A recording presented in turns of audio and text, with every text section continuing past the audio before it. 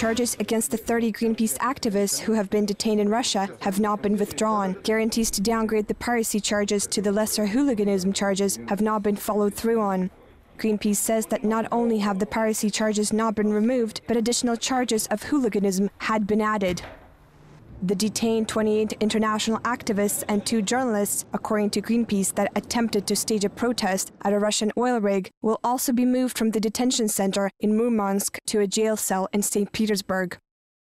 Some of the activists have started describing their ordeals in a Russian detention cell. Tasmanian Colin Russell's letters to his wife have been released by Greenpeace, where the man wrote about snow blowing into his tiny jail cell and his bed having iron bars which cut into his body.